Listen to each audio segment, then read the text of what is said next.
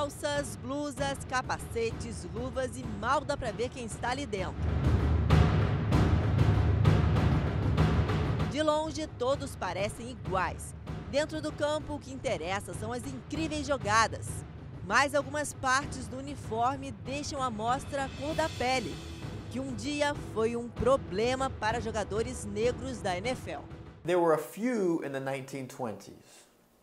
And then in 1934, all of the owners came together and they said, no more black people in the National Football League. So they were, all went out.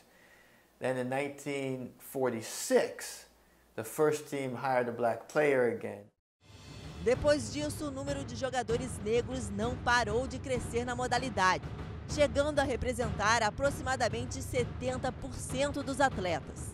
O sucesso fez com que os grandes times abrissem as portas para os novos talentos do pedaço, mas eles continuaram sendo comandados na grande maioria das vezes por brancos. Muita coisa ainda precisava mudar. In the first 40 years of the Super Bowl, there were no coaches of color anywhere.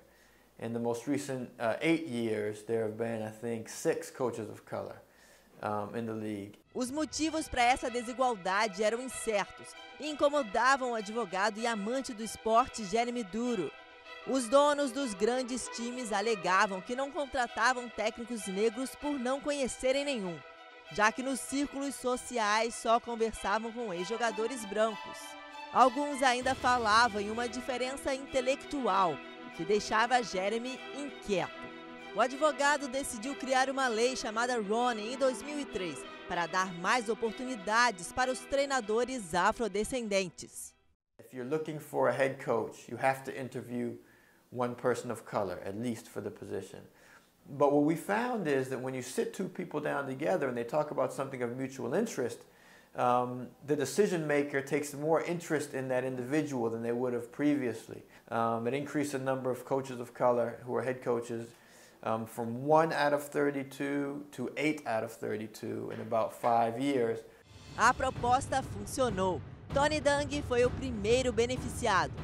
O técnico que havia sido demitido sem motivos antes da lei foi o primeiro treinador negro a vencer o Super Bowl.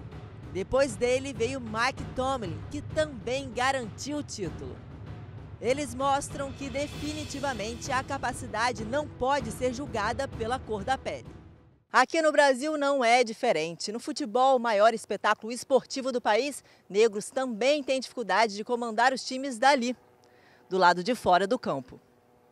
Esse tipo de preconceito no Brasil, ele nunca é coisa aberta, né? É sempre tudo muito enrustido, porque na verdade as pessoas não têm coragem de se manifestar em público que ela é racista. Então tudo fica muito entre, entre linhas. Vi algumas situações, né, é, dentro do clube e, e realmente me desagradou bastante, mas você realmente fica um pouco de mãos atadas, você sozinho não pode fazer nada, se chateia, fica magoado, mas, mas releva e a vida segue, quando na verdade não poderia ser assim, né? Jogadores negros estão presentes em vários times do mundo.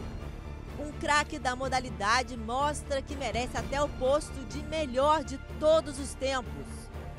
Mas o que falta para técnicos negros assumirem cada vez mais os clubes grandes?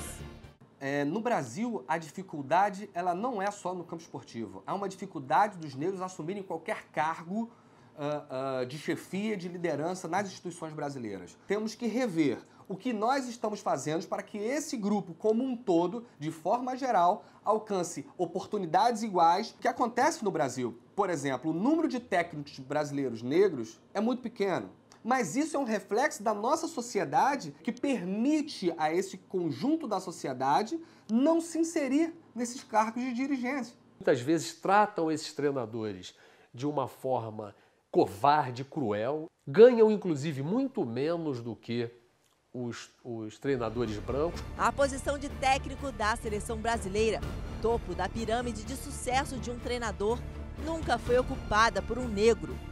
Nos últimos dias, vimos muitas especulações sobre quem seria o substituto de Felipão. Nenhum afrodescendente foi indicado na maioria das pesquisas populares. Uma consequência da falta de oportunidades do passado. para quem conseguiu destaque, o orgulho vem em dobro. Campeão brasileiro depois de 17 anos pelo Flamengo, eleito o melhor treinador do ano. Eu acredito sim que a gente vai sofrer, a gente vai sofrer muito ainda como, como está acontecendo, mas eu acho que a gente vai abrir porta para os outros no futuro, para os outros negros no futuro. Talvez não vai sentir o passar pelo que nós estamos passando hoje.